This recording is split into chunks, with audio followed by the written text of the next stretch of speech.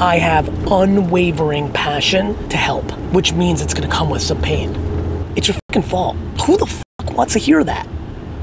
No one.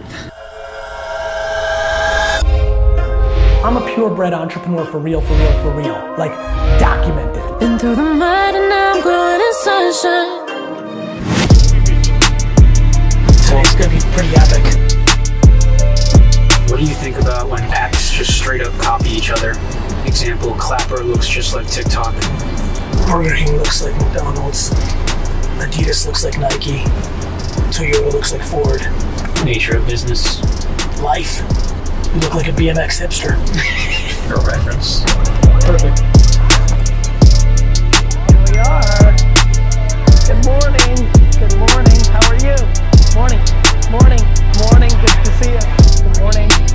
Want to do is like have as much interaction with everyone as possible.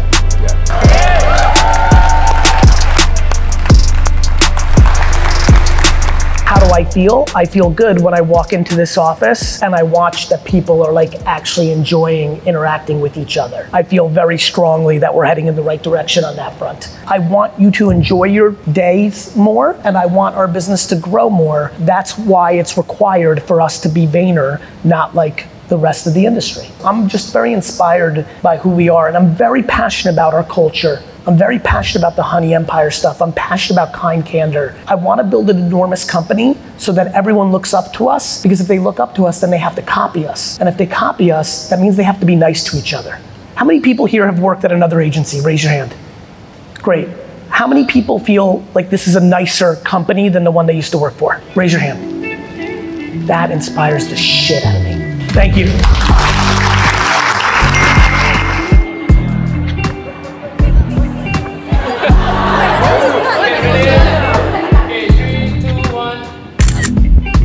I'll be right back. How you doing? Good to see you. How's travel? Good.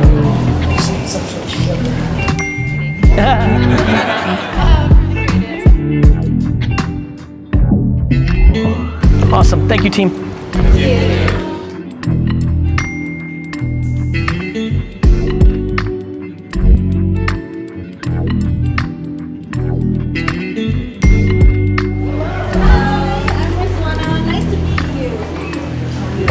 One of the biggest reasons social has not been taken serious enough by the best creative agencies in the world is because it's too hard. Not because it's completely like, I don't think it's cool. It's because it's harder. It's a lot easier to come up with a tagline and make a video and put on TV. What makes it so hard? the speed in which the consumer attention is evolving, the speed in which the platforms are competing with each other, the real discipline of what we call PAC, platforms and culture. So on an everyday basis, understanding that today Instagram cares more about its carousel ads and you need to make those versus a regular post. There's a level of being on the pulse, a day trading that most agencies are not fast enough for. They're not built for that. They're built for briefs and meetings and pitching.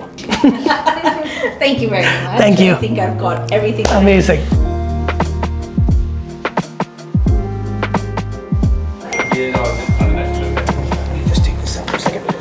Self-esteem is clear to me at this point in life, which is surround yourself with more positive people, surround yourself with more positive noise. You need to understand that everything that comes into your body, like food, from a communication and energy standpoint, is affecting you. And if you start hanging out with people that want you to win, you will have more self-confidence. If someone's telling you you're beautiful versus telling you you're ugly, if someone's telling you you're awesome instead of you suck, you're a different person. Self awareness is much harder. The only thing I've ever seen that's worked is making people that know you the best feel so safe when you ask them for critical feedback. Just tell me what you think. And then also doing that with 10 people because you know that people have different opinions. And then if all 10 of them say that you're a little lazy and you don't see it, there's probably a good chance you're lazy. Awesome. Well, thank you very much, Gary. Cheers. I can't wait to see all of you in Australia. Cheers. Gary. Bye bye. See you soon. Got it, no worries. It's amazing. Such a pleasure to be with all of you. how to effectively get senior clients to understand the importance and also the attention on social. Senior clients really want to talk business, not marketing. Well, that's what's worked for us. I only talk business. One of the reasons that social media is really interesting to me is if you asked any normal person that's smart to some degree that in 2023, is it a good idea to spend money on social media? You'd have to think that the person will say yes. We know what world we live in. But there are many clients we have that spend more money on print than they do on social. That's insane. The first question you have to ask is how do you measure brand? That is the number one first question. And they're gonna answer with a report. And then you gotta ask them how the data goes into the report. And that's where the conversation starts to get interesting. And so as you can imagine, now all of a sudden you're in a meeting, they're saying, how do you measure this? And I go, hey, real quick, before I explain the ROI of social, how's your ROI metrics on your reporting looking for last year? Great, but why is your business down 12%? And then all of a sudden it completely undermines the way they measure and it changes everything. Thank you everyone. Hope you have a great day. Cheers. Nice Andy. Thank you so much. So nice to spend time.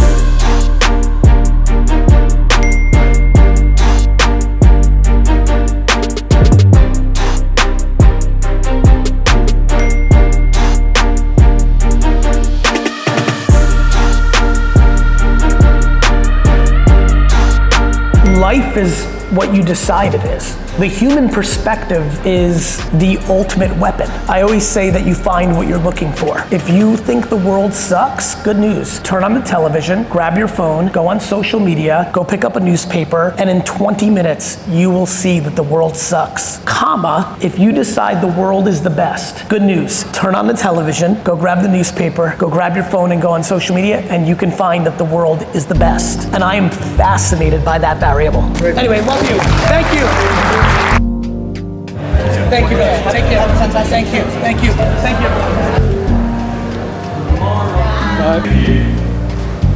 How are you? Very good. Thanks so much for making the time. I appreciate it. It's been great. Now it's the time for an elevator pitch. That's right.